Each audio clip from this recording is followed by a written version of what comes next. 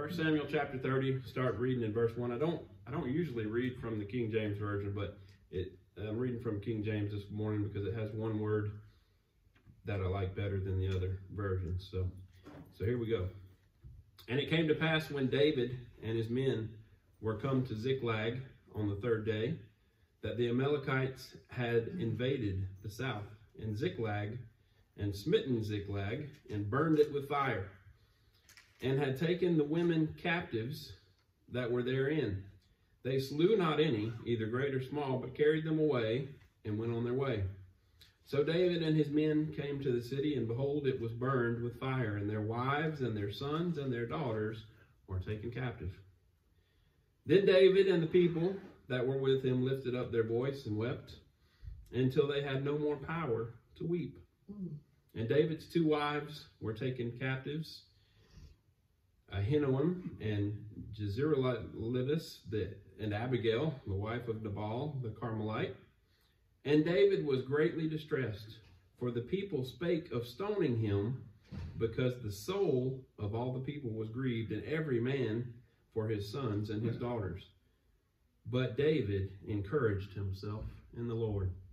Let me read that part again. But David encouraged himself in the Lord. Now, this is not a scripture you're going to often see on a bumper sticker or a t shirt, but this is one of the most powerful scriptures in all the Bible, I believe. It's one of my favorites.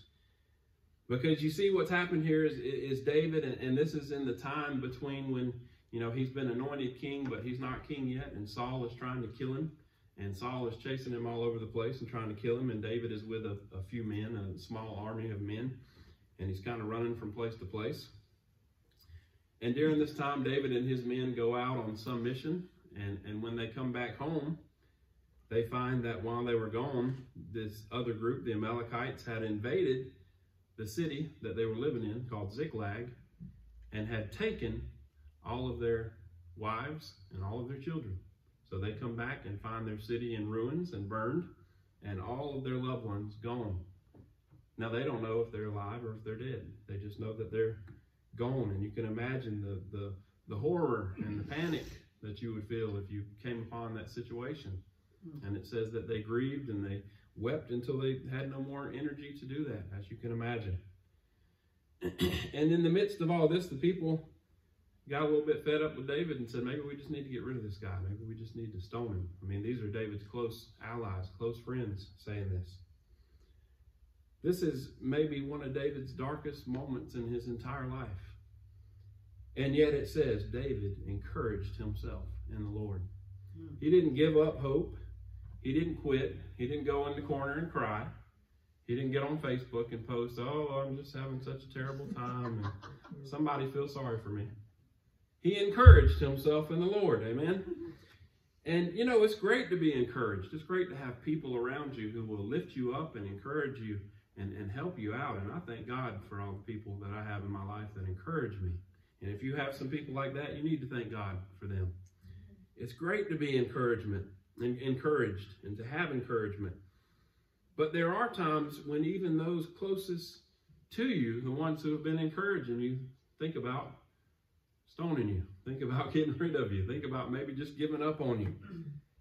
And you know, this was David, and he's in the midst of this personal tragedy. And, and what do you do when you're there? And it says that David encouraged himself in the Lord.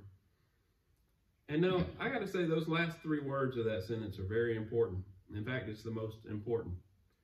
Because a lot of people can encourage themselves, okay, in different ways. They can go read motivational uh, quotes and encourage themselves that way. Uh, you know, they could go watch some motivational speaker give a speech and tell you how great you are and how awesome you are and encourage themselves that way. But understand that David didn't just encourage himself, he encouraged himself in the Lord. In the Lord. It's, this is not some kind of self help thing or some kind of self centered motivation we're talking about. We're talking about encouraging yourself in the Lord. And you know, really that's the only kind of encouragement that lasts anyway. Amen. So this morning, I'm going to give you five ways, five ways that you can encourage yourself in the Lord. If there's ever a time when you're not getting the encouragement that you need from the outside, you can just use these ways and encourage yourself in the Lord. And you can remember these five things with this acronym, acronym and the, the word is GREEP. G R E E P. I know that's a fake word. I made it up, but uh, you know, some some of the better preachers can actually come up with real words and, and good acronyms, and I'll, I'll get better. I promise. But the word you get this morning is is GREEP. GREEP.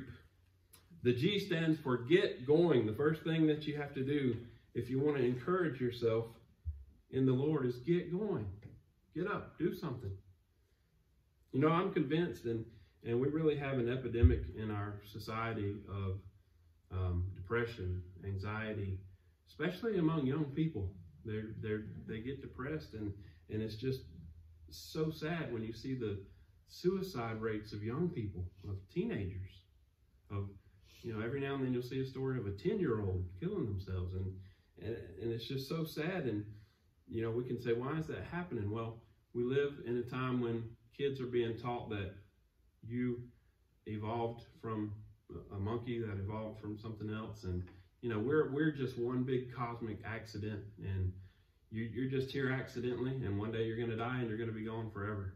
What do you think kids are going to do when you teach them stuff like that? They, they lose hope. They lose uh, you know purpose. They don't have a, a, purpose. So they they you know often get depressed and, and down and and that's why but you know, we need, if you want to encourage yourself, to get going. A man was once asked what he would do to encourage and revive a dead church. And his reply was, I would take up an offering for missions. Hmm. To encourage a dead church, he said he would take up an offering for missions. Why? Because sometimes we need to put the focus outside of our own self. If we're feeling down or we need encouragement, we need to make that focus outward instead of inward. And see, we could sit back and, and focus on ourselves and our own problems and our own issues. Or you can turn your focus outward. What can I do for the kingdom of God? What can I do in the kingdom of God? Because each one of us has a calling. Everyone has a calling. Everyone has a purpose.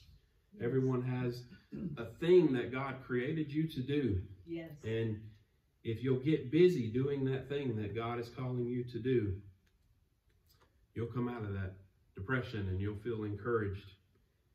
There's a story in uh, 2 Kings chapter 7 of four lepers, four lepers who were living outside the city. They weren't allowed to live in the city. They were they kicked them out of the city. They'd live outside the city walls.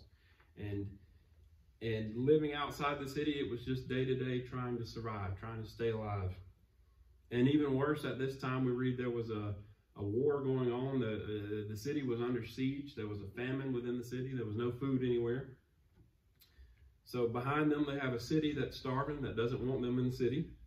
And then out in front of them, they have this huge army of enemies that uh, wants to come and kill everybody in the city. You could say they were in a bad place. But one day it says one of these lepers stood up and said, Are we just going to sit here until we die? Let's do something. You know, let's try mm-hmm. something. And they came up with this idea that let's just go down to where the enemy camp is and, you know, maybe they'll take pity on us and feed us. And if, if not, they'll kill us. And either way, we're going to die. So let's just do something. We got to do something other than sit here and die.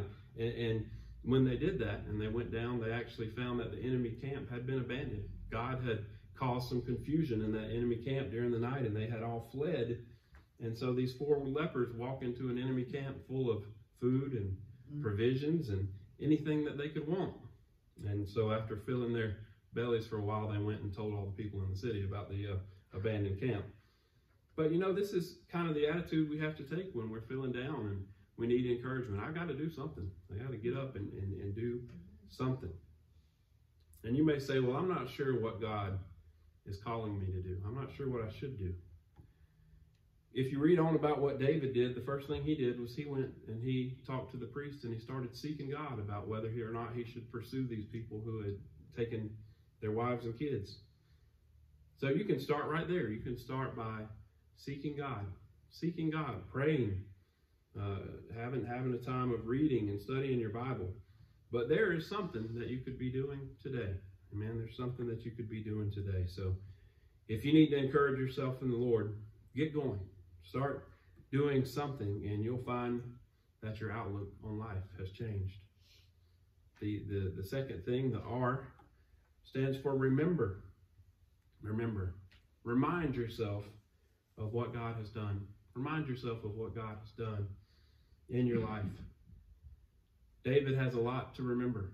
He is probably in a unique place here compared to all the other men where he has just seen God over and over work miracles in his life. And so I'm sure that comes to mind. It comes to mind when he was down there in the valley with the giant that was threatening to rip him apart. I'm sure all those things, all those times God delivered him came to mind and he remembered. What has God done for you? What has he done for me? We need to remember that when we need encouragement.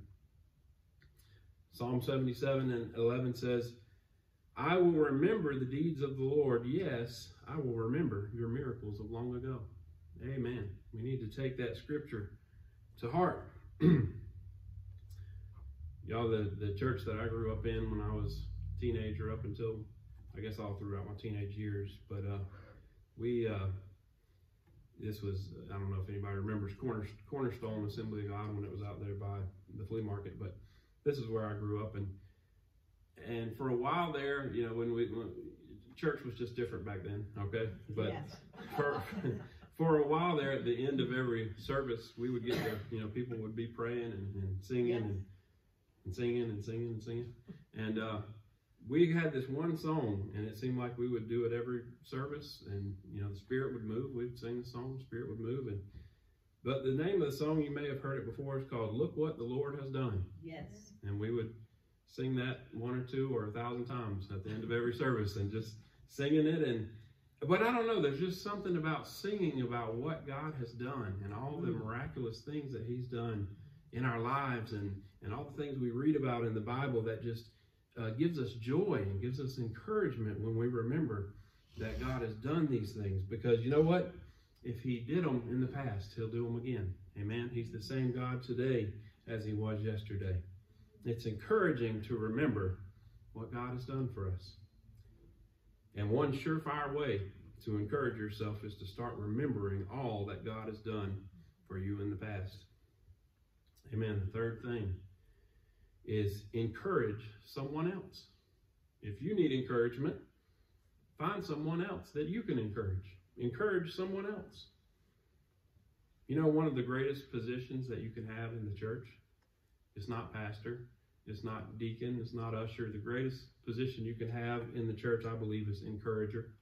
It's mm-hmm. encourager. Yes. And anybody can be an encourager. Yes. You just have to make up your mind that you're going to be that person. Be be somebody who can find the positive in any situation.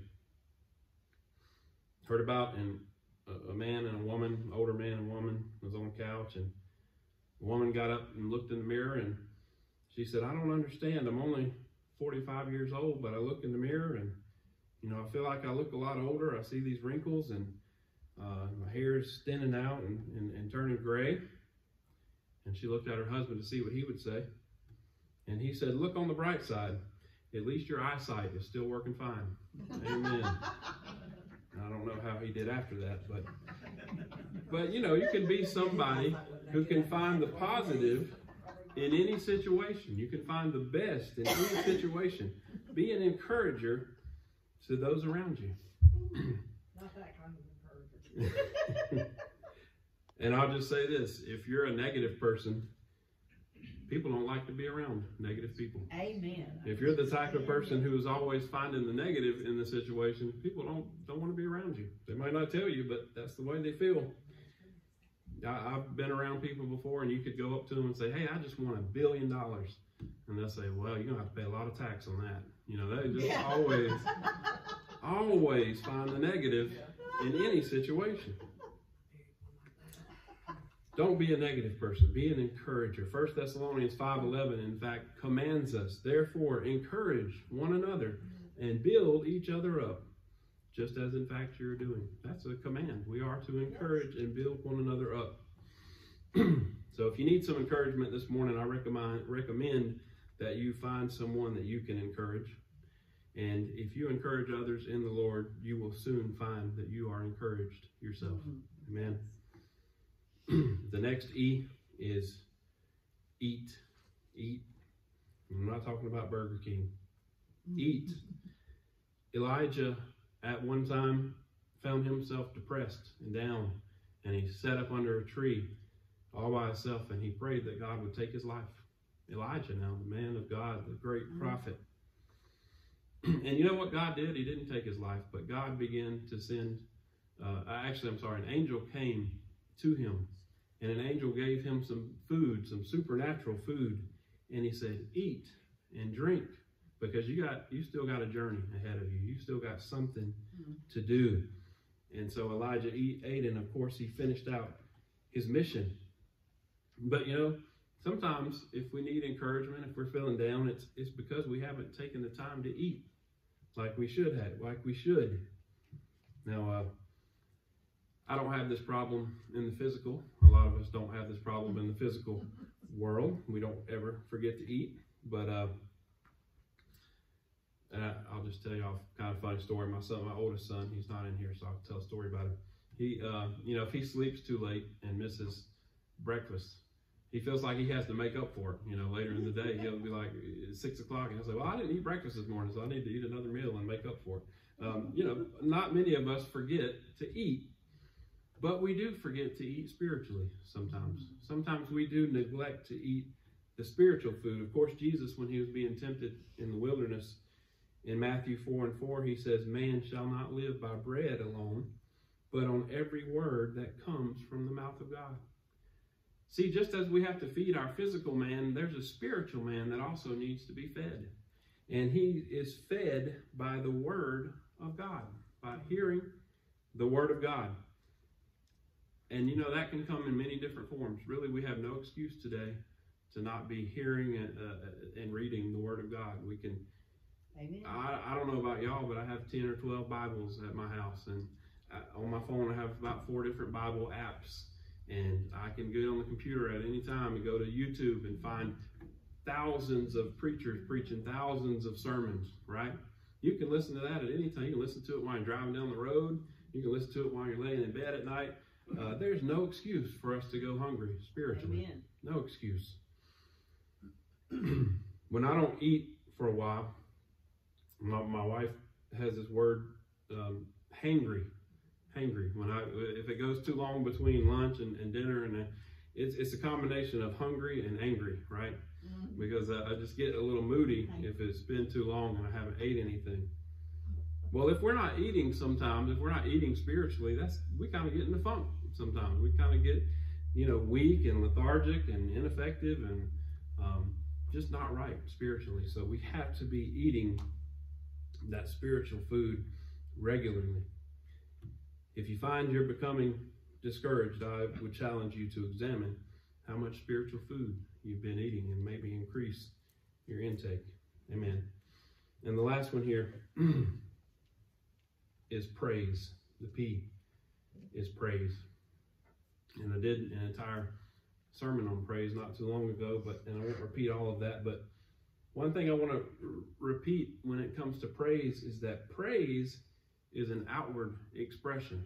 You know, a lot of times we combine, we say praise and worship, you know, as if it's one thing, but these are really two different things. And, and worship is something that you can do quietly and, and, and, and just silently. But praise is an outward expression. It requires some type of movement or noise or something. And you know, David was somebody that knew about praise. In fact, one time if you read in the Bible, he was bringing the ark back into Jerusalem and he praised so much and he danced so much that it says his clothes fell off. And now I don't encourage anybody to praise that much in the church, but you get the point, right? He knew about praise and he was serious about giving God the praise that he deserved. Now you might come into church sometimes feeling down or, or you know, just kind of in a funk, but I promise you, if you'll start praising, if you'll start lifting up the name of God and, and giving him the praise that he deserves, before long, you'll realize that you're feeling encouraged in the Lord. Amen. Of course, you know of Paul and Silas that were that were locked in the prison, and what did they do? They began to sing. They began to sing praises to God. And, and they weren't doing this because they thought if they did it, God would give them some miracle. They were just praising God because they knew that He deserved their praise no matter what their situation was. Amen. Mm. If you want to encourage yourself in the Lord, start praising. Uh, I want to read you real quick in regards to praise what it says in Psalm 50. I'm sorry, Psalm 150, uh, 1 through 6. If you don't think praise is important, you ought to read this chapter because this is what it says. Praise the Lord. Praise God in his sanctuary. Praise him in his mighty heavens. Praise him for his acts of power. Praise him for his surpassing greatness. Praise him with the sound of the trumpet. Praise him with the sound of the harp and lyre. Praise him with the sound, praise him with timbrel and dancing. Praise him with the strings and pipe. Praise him with the clash of cymbals. Praise him with resounding cymbals. Let everything that has breath praise the Lord. Praise the Lord. Amen. Does that sound like a, a, a quiet praise or a reserved praise? No, that sounds like people are beating on instruments and singing and, and praising loud and, and singing out of tune, but praising God. Amen. So we've got to praise if we need to encourage ourselves in the Lord. And I'm closing, but I just want to say that, you know, I believe we Christians, we ought to be the most joyful, positive people Amen. in the world. Amen. And that being said, I understand that is easier said than done. Yes. I understand that life is life, and there's going to be times when you don't feel joyful and you don't feel uh, like the most positive person in the world. But when we get in those situations, we need to remember, as David did, to encourage ourselves in the Lord, to encourage ourselves, not not to throw ourselves a pity party, not to uh, you know get on Facebook and tell everybody how bad we got it and see how many uh, people can can feel sorry for us. But you know sometimes that's the problem is we like our pity party too much. We like our uh, we like that attention we get from being down and being negative, and and you know we need to shake it off and encourage ourselves in the Lord. Encourage ourselves in the Lord so that we can be the men and the women that God has called us to be. Yes. the end of the story, we only read the beginning, but the end of the story is that David takes his men, rallies his men, and he goes out and he hunts down the people that took the wives and the children. And he takes back everything that the enemy had taken away from him, takes it back from him. And it all started when David, one person, it all started when one person made a decision that he was going to encourage himself in the Lord. Amen. It all started there. And I pray that you are surrounded by encouragers at all times. I pray that uh, you are. But if you're not, you may have to encourage yourself in the Lord, and that's okay. Encourage yourself in the Lord. Amen. Get going. Find something to do. Remember all the things that God has done for you. Encourage somebody else. Be an encourager to somebody else. Eat. Don't forget to eat the spiritual food that we need. And then praise. Amen. Let's pray. Lord, I thank you.